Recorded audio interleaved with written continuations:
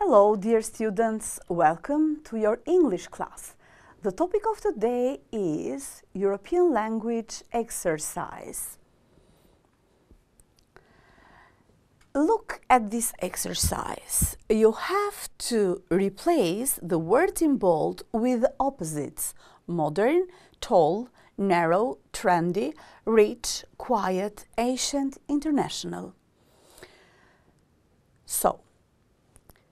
Noisy neighborhoods, quiet neighborhoods, old town, modern town, low buildings, tall buildings, new city, ancient city, poor history, rich history, wide streets, narrow streets, unfashionable nightclubs, trendy nightclubs, local dishes, international dishes.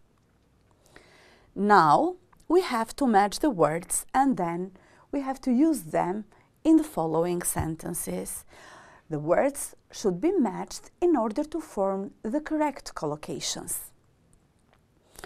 Picaresque city, three-line streets, fashionable boutiques, cozy cafes.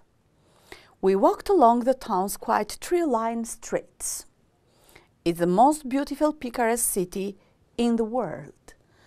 You can sit all day on one of the cozy cafes. We shopped at the fashionable boutiques in the city center. Now, we have to complete the sentences with words invent, developed, living, comes from and shopping. The word skyscraper comes from the word sailors. The shopping mall has a cinema. When did Elisha Otis invent the elevator? The engineers developed a new building techniques. There is enough living space for 10 people.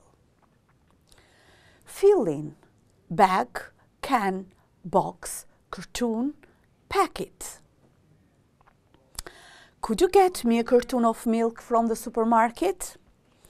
Mom used the whole bag of sugar to prepare the cake. Katie buys a packet of cereal every week. I usually take a box of popcorn to the cinema. How much is a can of lemonade? Now we have to choose the correct item among two given. I want some milk, please.